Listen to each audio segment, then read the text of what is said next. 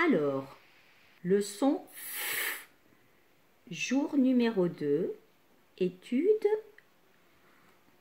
du nouveau son.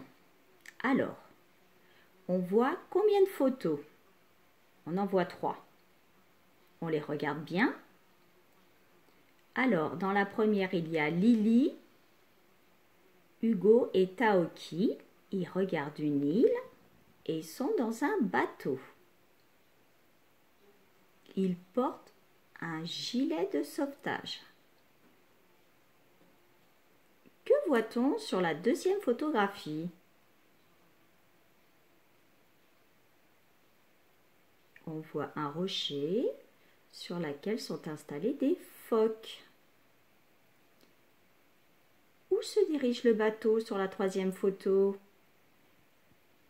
Il rentre au port et les enfants ont pu observer en mer, comment ça s'appelle les animaux qui sont dans l'eau?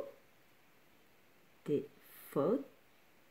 Ils ont pu observer des dauphins et des poissons. Que fait Lily?